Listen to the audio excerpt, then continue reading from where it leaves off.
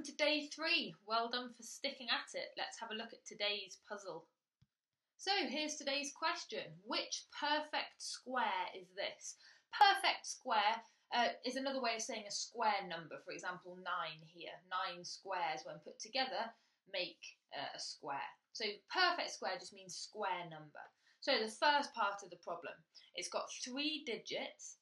It's a perfect square, so it's a square number.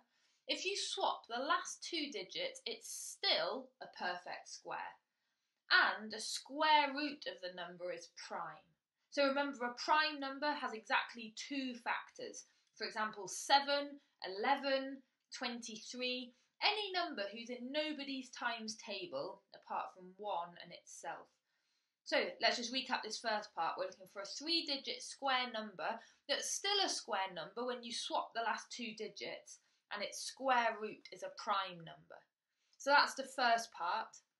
Right, let's have a look at the second part. So this is a separate question now. So it has three digits and it's a perfect square. So again, we're looking for a three digit square number.